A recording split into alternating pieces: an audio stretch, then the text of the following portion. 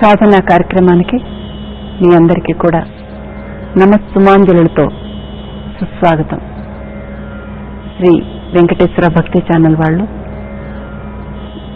నాట్యంలో ఆసక్తి ఉన్న వాళ్ళకి నాట్యంలో పరిచయం ఉన్న వాళ్ళకి ఒక చక్కటి అవకాశం కల్పిస్తున్నారు. ఈ అవకాశాన్ని మీరందరూ కూడా సద్వినియోగం చేసుకుంటున్నారని భావిస్తూ మరి ఈ సాధన కార్యక్రమంలో ఈనాడు మనం నేర్చుకోబోయే అంశం అన్నమాచార్య కీర్తన ముద్దుగారే యశోద ముంగిట ముత్యము నీవు. ఇది చాలా మంది వినే ఉంటారు. అంది అది వింటేనే అంత బాగుంటుంది. ఇక నాట్య రూపంలో దానికి మరింత శోభ చేకూరుస్తుంది. మరి ఈ అంశం గురించి వివరణకు వెళ్ళబోయే ముందు ఈ అంశానికి సహకరిస్తున్న వాద్య కళాకారుల్ని మీకు పరిచయం చేస్తాను. నటువాంగం పైన శ్రీ రేణుకా ప్రసాద్ గాత్రం శ్రీమతి లావణ్యలత మృదంకంపై సహకరించేవారు శ్రీ పి రామచంద్ర శర్మ వాయులీనం శ్రీ శివకృష్ణ స్వరూప్.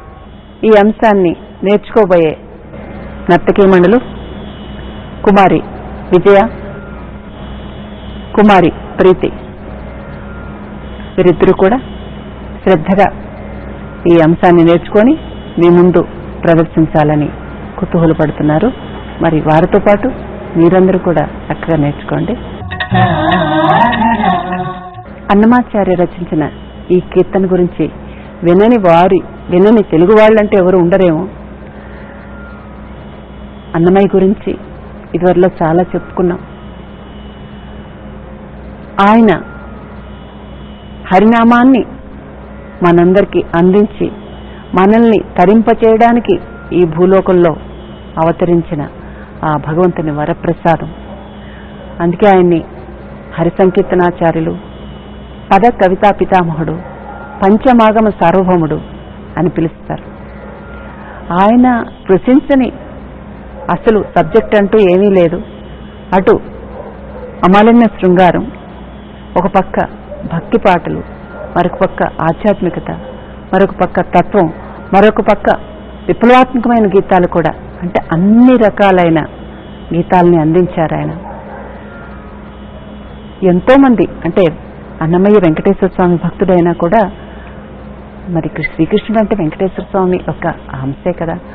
ఎంతోమంది మరి మరి నారాయణ తిద్దులు కానీ నారాయణ తిద్దుల వారు కానీ సిద్ధేంద్రులు కానీ జయదేవుడు కానీ నారాయణ భట్టాద్రి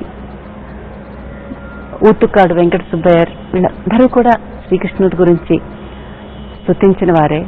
అటువంటిది మరి వెంకటేశ్వర స్వామి భక్తుడైన అన్నమయ్య స్థుతించకుండా ఉంటాడా?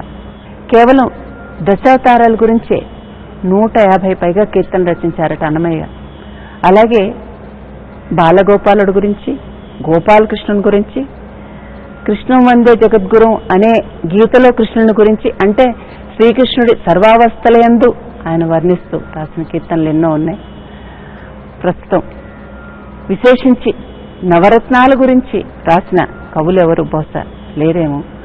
ఇది ఒక చాలా ప్రత్యేకత చాలా వైవిధ్యత ఉన్న కీర్తన. అన్నమాచారి కీర్తనలన్నీ కూడా ఒక పల్లవి మూడు చరణాలు ఉంటాయి. అదేవిధంగా ఇది కూడా నడుస్తుంది. మొట్టమొదటి పల్లవిలో ముద్దుగారే యశోద ముంగిట ముత్యము నీవు. ఒక్కొక్క అవస్థలో శ్రీకృష్ణుణ్ణి ఒక్కొక్క నవరత్నాల్లో ఒక్కొక్క రత్నంతో ఆయన పోల్చాడు ఆయన.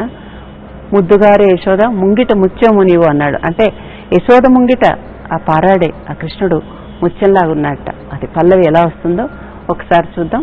యశోద శ్రీకృష్ణుణ్ణి తీసుకొని రావడం ఆ తర్వాత ఆ పాటను అనుసరించి ముద్దలు కానీ భావం కానీ ఉంటుంది.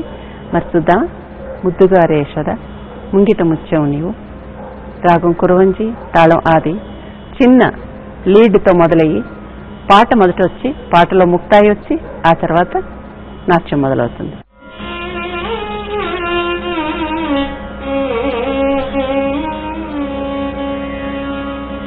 ముత్తుగారే శోద ముంగిట ముత్యము వీడు. సిద్ధరాణి మహిమల దేవకీ